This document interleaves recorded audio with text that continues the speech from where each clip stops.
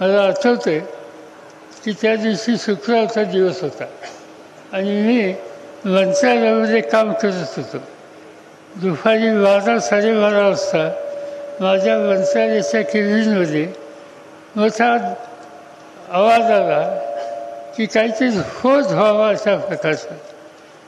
मी मंत्रालयाच्या माझ्या चेंबरमधनं बाहेर बघितलं तर लोक पळत होते.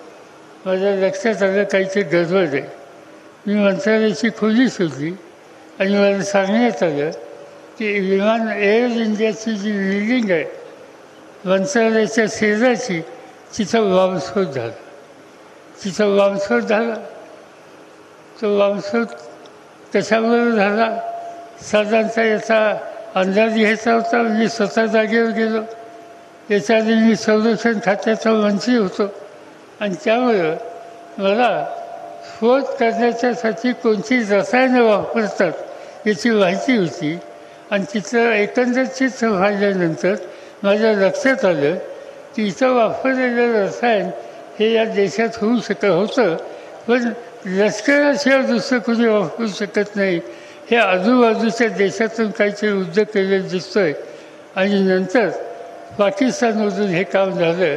या प्रकारची माहिती त्या ठिकाणी आली आणि शुक्रवारच्या दिवशी त्या ठिकाणी जो बांधफोड झाला तो एका ठिकाणी नाही दहा ठिकाणी बांधफोड झाला आणि दुर्दैवानं एका समाजाच्या विशिष्ट वर्गाच्या श्रद्धास्थानं आणि कुटुंब यांच्या परिसरात तो दंगा हे स्फोट हो झाला. पण त्याच्यातून जातीय दंगल होऊ नये म्हणून मी एक निर्णय घेतला. मला विचारलं की हे स्फोट कुठे झाले? दहा ठिकाणं झाले ते खरं मी सांगितलं आणि एक ठिकाण मी खोटं सांगितलं. आणि ते खोटं सांगणारं ते ठिकाण समाजाचे अल्पसंख्याक राहतात त्यांच्या भागाचं होतं आणि तिथेही झालं असं सांगितलं.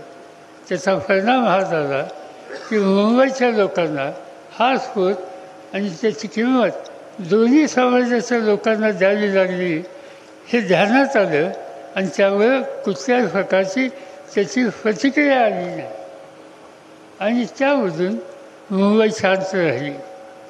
पण मुंबई ही जगातली एक आर्थिक व्यवहार करणारी महत्त्वाची नगरी म्हणून जगात माहीत असते. तिचा कारभार बंद करून चालला नाही. तो दिवस शुक्रवारचा होता. शुक्रवारी आणि शनिवारी मी आणि मंत्रिमंडळाचे माझे सहकारी आणि मंत्रालयाचे अधिकारी त्यांनी अक्षरशः अठ्ठेचाळीस तास न झोपता त्या ठिकाणी काम केलं आणि आम्ही सोमवारी मुंबई शहर आणि त्याचा व्यवहार हा पूर्ण नीटनेटका आहे ही स्थिती निर्माण केली. जगाचे पत्रकार बघायला आले पण त्यांना आश्चर्य वाटतं की इथं तीनशे लोक वेगळे लॉंगसेट होते.